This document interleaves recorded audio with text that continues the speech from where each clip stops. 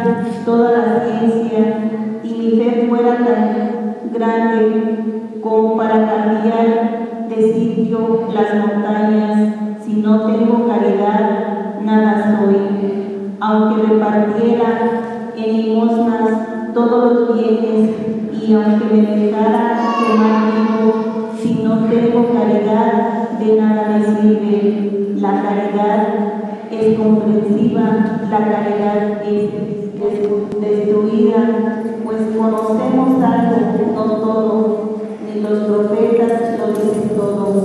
pero cuando llegue la consumación, todo lo que es imperfecto desaparecerá.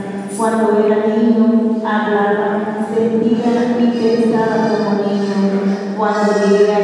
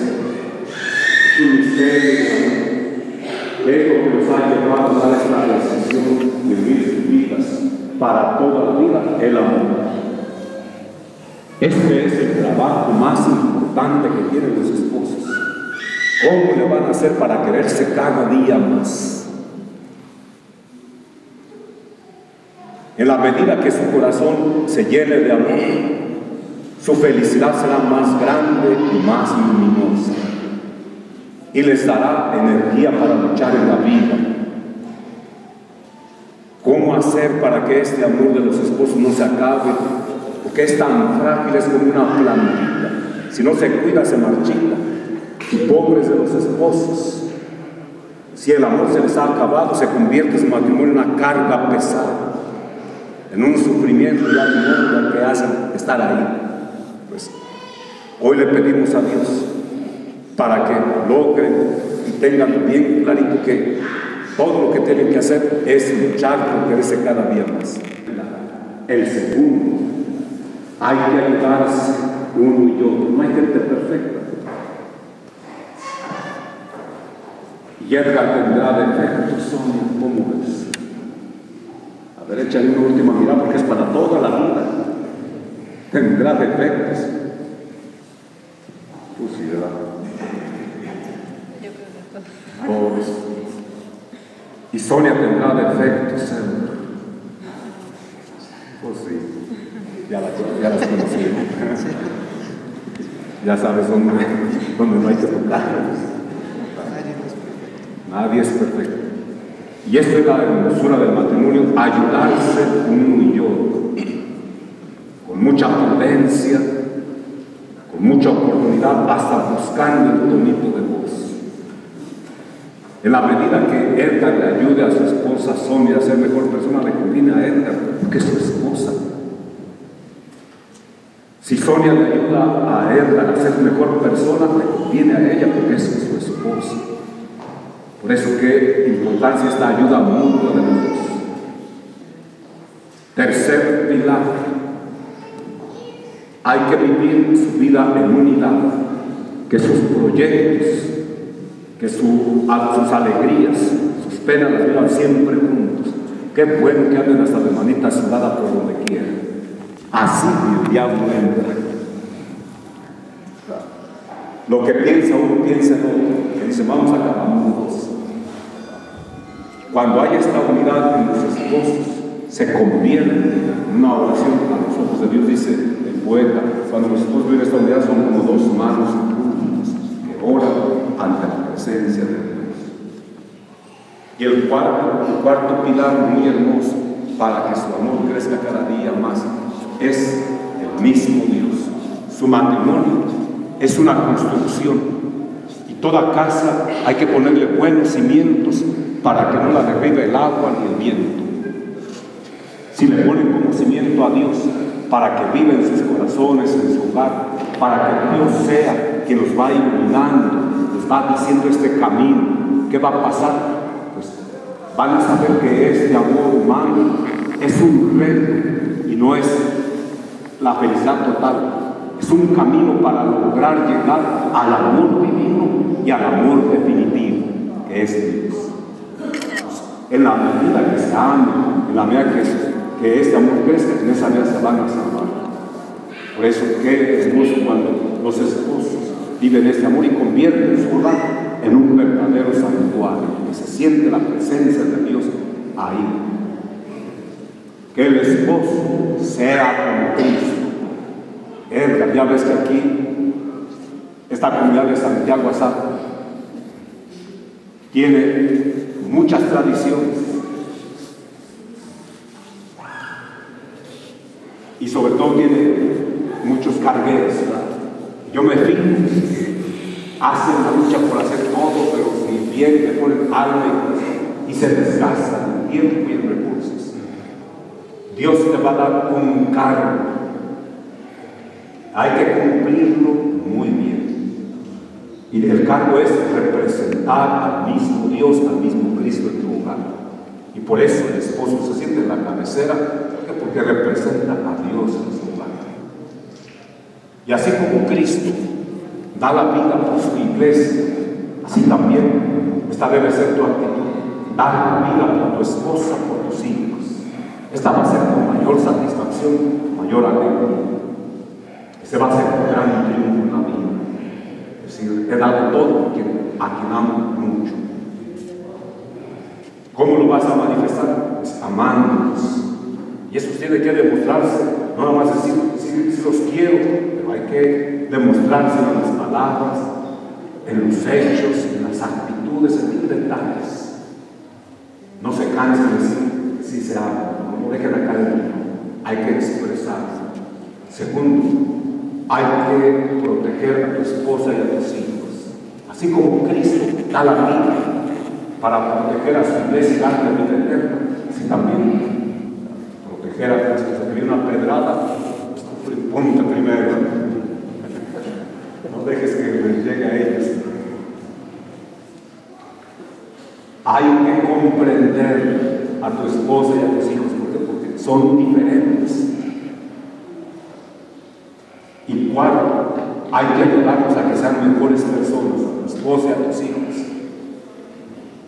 Esta es una primera parte para que tengas alineación de 10. La otra parte es que esposo esté al pendiente, que no le falte casa, comida, sustento, pero sobre todo ejemplo de valores humanos y cristianos. Pero sobre todo que el esposo tenga carácter para que dé personalidad abogada. Que aún en momentos difíciles no te tiemble la voz. Que aunque por dentro te estés muriendo de angustia, tú estás derechito. El hogar camina muy bien. Por eso hoy le pedimos mucho a Dios por ti. Sonia, dice el apóstol Pablo, que la esposa sea así como la iglesia. La iglesia es lo más querido de Dios, lo más hermoso para Dios. ¿Y cuáles son tus responsabilidades también como esposa? Pues qué bueno que cuando que esta hermosura que Dios le da a la mujer, la proyectes ahí donde vive, en el orden, en la limpieza, en los mil detalles tremendos. Que cuando llegue Edgar no se quiera salir de la casa, todo está tan bonito. Que cuando llegue Edgar a la casa hay siempre comida muy sabrosa, hecha con mucho cariño, con mucho amor. Que casi sacas hasta la vajilla para que, para que coma ahí bien sabroso. Saben más los frijoles en un plato fino, en un plato despostillado. Qué bueno que la esposa sea buena administradora. Dicen, detrás de un gran hombre hay una gran mujer. Si quieren triunfar en la vida, si no tenga éxito, los tienen que poner su, su. Qué bueno que, que Sonia sea buenísima administradora, hasta para tener un aumento de sus secretos para momentos muy difíciles. Les a las cosas, no te preocupes, acá hay también de lo que he ahorrado. Hoy le pedimos a Dios para que sean muy buenos esposos. Esta felicidad no es aislada. Si sus papás los ven, pero muy felices, un matrimonio bien hechecito, muy cristiano, ellos van a pasar acá interiormente en su corazón y se van a sentir muy honrados. No les den penas, llévenles alegrías, llévenles satisfacciones. Hoy pues nuestra oración por ustedes, para que Dios los bendiga y un día vivan no este amor humano, sino este amor divino junto con Dios. Así sea. Vamos ahora a vivir este momento muy singular en el que ellos hacen este contrato y este sacramento de matrimonio ante Dios y ante la iglesia. Ahora se ponen de pie Edgar, Sonia y sus padrinos de relación. Los padrinos de relación, ellos son testigos oficiales de la comunidad y responsables de rezar por sus ahijados, de velar, así dice la palabra, velar por este matrimonio, que es un matrimonio muy bonito. Darles un buen consejo si fuera necesario. Tienen la autoridad. El padrino que dice padre chiquito, la madrina madre chiquita. Tienen la autoridad. Y ellos han escogido, han escogido pues, como un ejemplo a, seguir. Edgar, Sol, han venido aquí para que ante el ministro de la iglesia y ante esta comunidad cristiana consagre con su sello el amor que ustedes se tienen. Este amor Cristo los bendice abundantemente con un nuevo sacramento a ustedes a quienes ya los santificó el día de su bautismo. Hoy les va a dar bendiciones para que se guarden fidelidad en su matrimonio y cumplan todas sus obligaciones de esposos. Así pues, ante esta comunidad que representa la iglesia y ante sus padrinos, les pregunto, ¿han venido aquí a contraer matrimonio por su libre y plena voluntad, sin que nada ni nadie los presione? Sí, vengo están dispuestos a amarse y a honrarse mutuamente en su matrimonio durante toda la vida. Sí estoy dispuesto.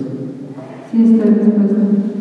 Están dispuestos a recibir con amor y con responsabilidad los hijos que Dios les dé y el que ya tienen y educar cristianamente. Sí estoy dispuesto. Sí estoy dispuesta. Así pues, ya que quieren establecer entre ustedes la alianza santa del matrimonio, unan sus dos manos y expresen este consentimiento ante Dios y ante la iglesia.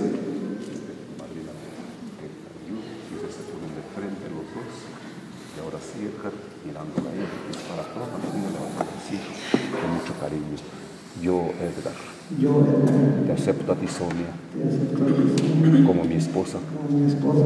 Y te prometo y te prometo serte fiel serte fiel en lo próspero y en lo adverso. en la salud en la salud y en la enfermedad. amarte. Amarte, respetarte. Respetarte. Todos los días de mi vida. Yo Sonia.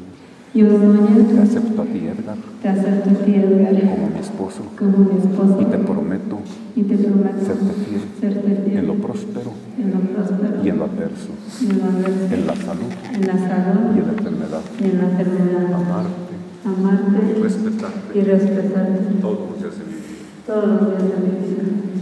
Que el Señor confirme este consentimiento que han manifestado ante la iglesia y cumpla en ustedes su bendición, lo que Dios acaba de unir, no los separe el en el nombre del Padre, del Hijo, del Espíritu Santo. Amén.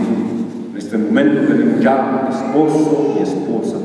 Esto es lo que hace el contrato de matrimonio, la aceptación de los Vamos a un aplauso a los nuevos esposos.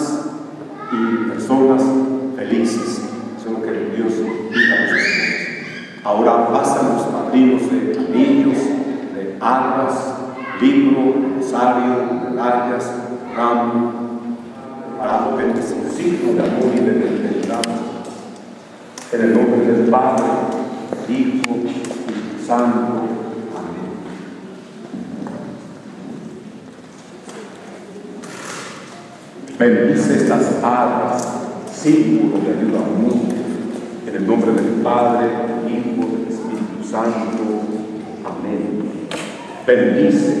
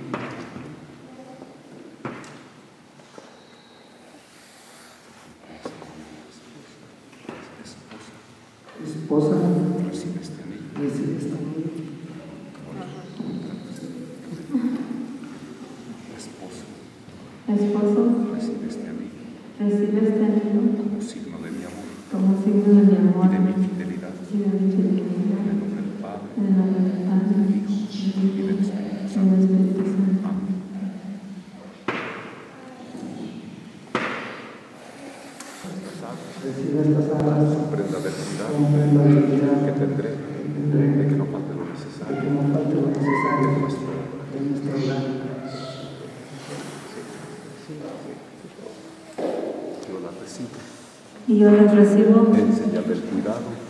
en señal señal del cuidado. Que tendré que tendré de que todo se aproveche en nuestro hogar. de que todos aprovechen nuestra vida.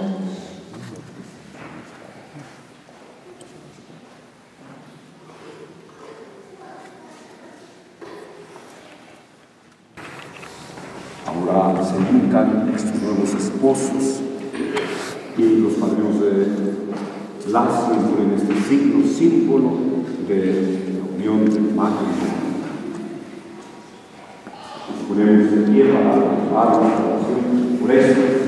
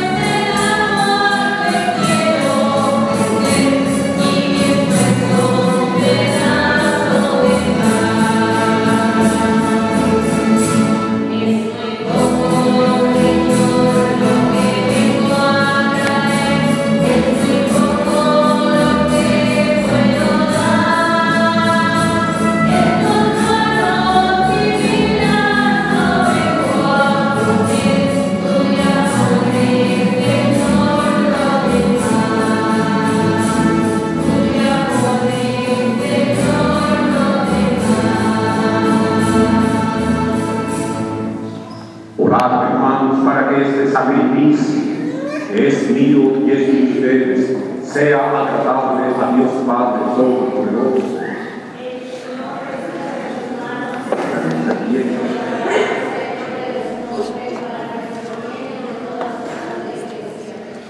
Recibe, Señor, con bondad los dones que te presentamos con alegría y protege con tu amor paterno a tus hijos, Edgar, personas a quienes uniste con el sacramento del matrimonio, por Jesucristo nuestro Señor. El Señor esté con ustedes. Levantemos el corazón. Demos gracias al Señor nuestro Dios. Es justo y necesario. Verdad, es justo y necesario. Es nuestro deber de salvación darte gracias siempre y en todo. Señor Padre Santo, Dios Todopoderoso y Eterno.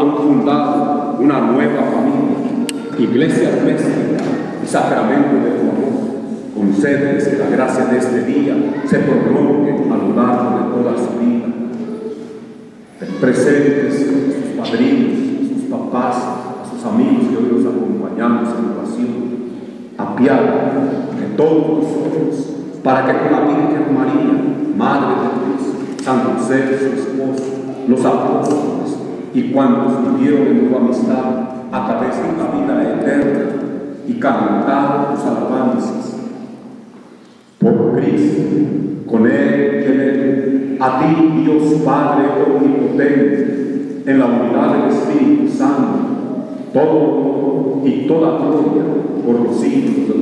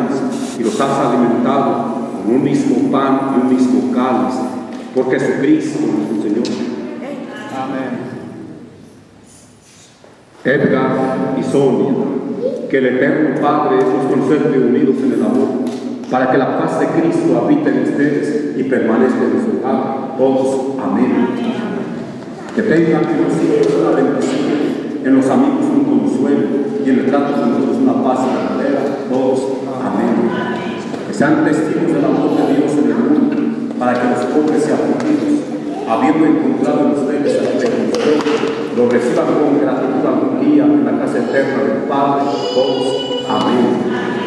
Y a todos ustedes, los aquí presentes, los bendiga Dios Todopoderoso, Padre, Hijo y Espíritu Santo. Amén.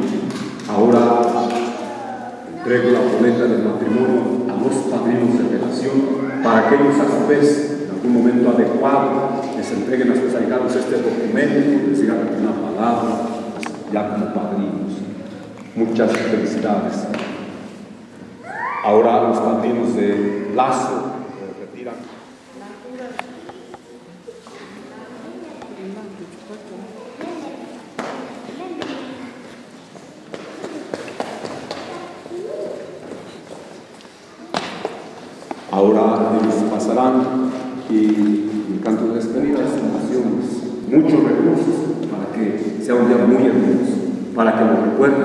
ya aunque estén bien viejitos y se acuerden de este día. Lo hermoso del coro que cantó, la, gran abundancia de flores, la música, todos estos mil detalles, los